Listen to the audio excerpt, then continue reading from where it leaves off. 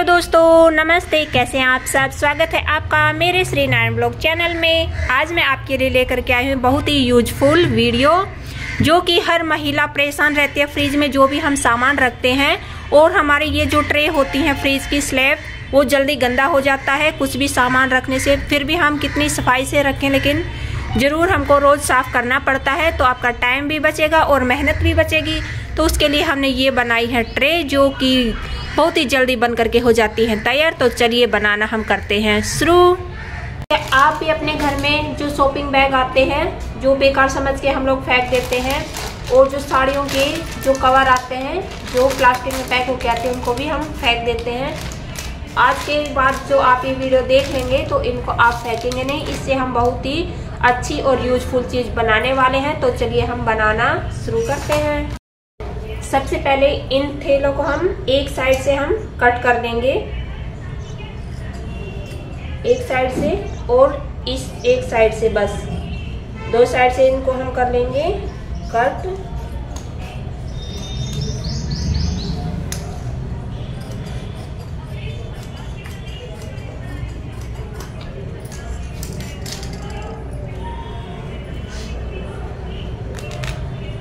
इस तरह से हमको इस थैले को कट कर लेना है। तीन तीन हमें चाहिए। और अब हमें चाहिए कोई प्लास्टिक या तो आप साड़ी वाला जो कवर आता है वो ले सकते हैं। या ये जो मार्केट से हम अलमारी में बिछाने के लिए लेकर के आते हैं, ये मेरे पास कुछ बचे हुए पीस पड़े थे, मैं इसी का इस्तेमाल करूँगी।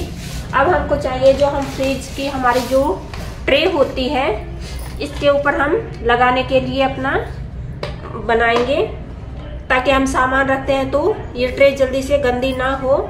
रखने को तो हम ये कागज़ ऐसे भी कट करके लगा सकते हैं ट्रे पर, लेकिन क्या होता है, जब हम सामान उठाते हैं, रखते हैं तो ये साथ साथ फिसल जाते हैं। तो इसलिए हम इसका थैले का यूज़ करेंगे और इसका हम कवर बनाएँगे।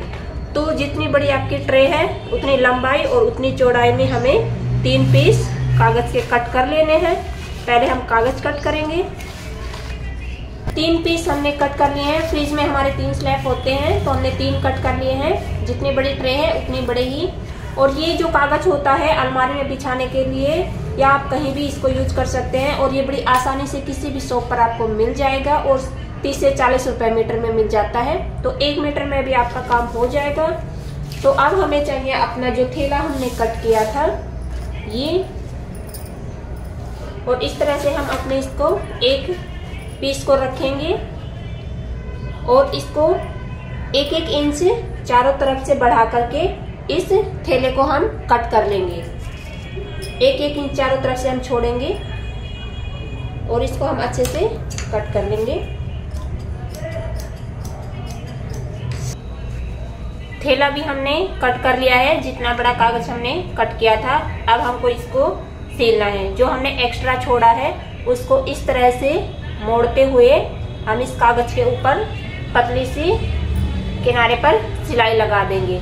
अगर हम कागज़ पे चलाएँगे तो शायद सिलाई ना भी चल पाए तो इसलिए हमने ये एक्स्ट्रा कट किया है और इसको इस तरह से मोड़ के चारों तरफ़ से हम इनकी सिलाई कर लेंगे। तो मैं सिलाई करके आपको दिखाती हूँ। ये देखिए, सिलाई हमने लगाई है और इतनी अच्छे से सिलाई हमारी लग करके तैयार हो गई है और कितने अच्छे कवर हमारे बन करके हो गए हैं, तैयार। अगर सिलाई में आपको कोई भी दिक्कत आए तो पहले आप पिनअप कर लीजिए, उसके बाद इसको इस तरह से किनारी मोड़ते हुए चारों तरफ़ से सिल लीजिए और इतनी आसानी से सिल जाता है और इतना अच्छा बिना एक भी रुपए खर्च किए हुए हमने अपने फ्रिज के कवर बना ले, बना लिए हैं। तो चलिए अब हम इनको लगा देते हैं फ्रिज में।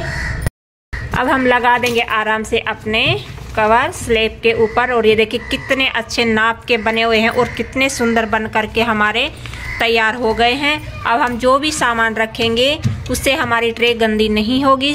फ्रिज का जो स्लैप है, वो गंदा नहीं होगा। और हम इनको अच्छे से वॉश भी कर सकते हैं। और देखिए, देखने में भी कितना सुंदर लग रहा है। और इतनी आसानी से ये बन जाता है। पाँच मिनट के अंदर अंदर ये बन करके हो जाता है तैयार। तो आप भी बनाइए, बिना रुपए खर्च किए थोड़ी सी सूझबूझ से हम अपने ढेरों पैसे बचा सकते हैं। और ये देखिए, हमने अपने फ्रिज का कवर बना करके कर लिया है तैयार। तो मुझे आप कमेंट में ज़रूर बताइएगा, आपको मेरा ये आइडिया, आपको मेरा ये वीडियो कैसा लगा? अब मैं वीडियो को यहीं पे ख़त्म करती हूँ। और अगर आपको पसंद आए तो प्लीज़ लाइक, कमेंट ज़रूर कीजिएगा। नए हैं तो चैनल को सब्सक्राइब कर लीजिएगा। मिलती हूँ मैं आपको एक और नई वीडियो के साथ। तब तक के लिए बाय बाय